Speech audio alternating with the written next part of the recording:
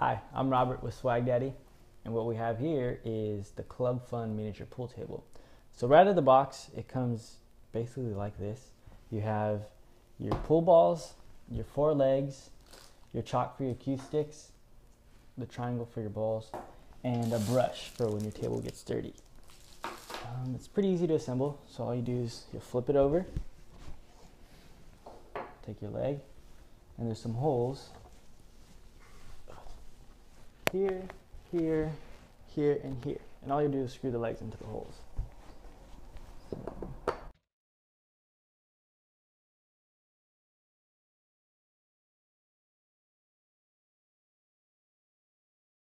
Move over the cue balls.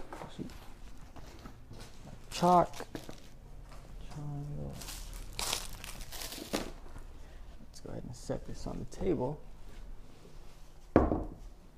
First glance, I didn't think any of the balls would fit or I thought that'd be an issue. But after I put the balls in there, each pocket holds about four or five of them.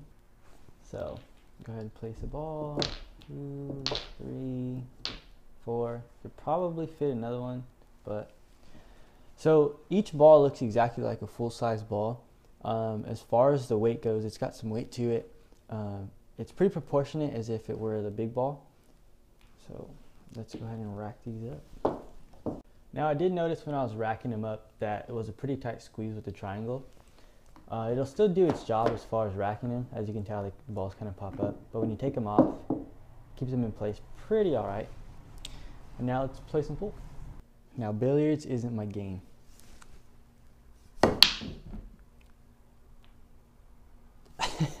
For more information about this product or any other product, visit us on the web at swagdaddy.com.